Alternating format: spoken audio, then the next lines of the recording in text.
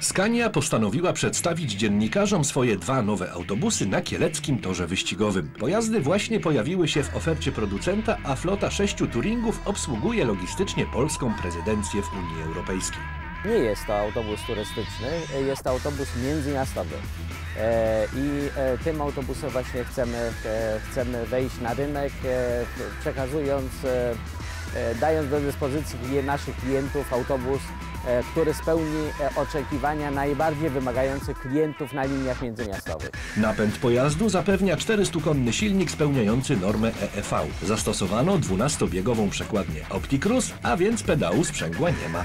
Wspaniale prowadzi się.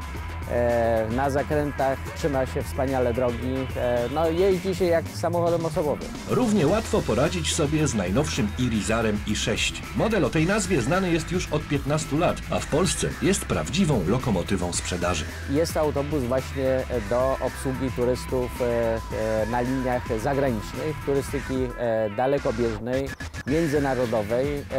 Także to jest autobus tip-top z najwyższej półki. Rzeczywiście, lista wyposażenia jest niezwykle bogata i chyba poza wodotryskiem w tym autobusie jest wszystko.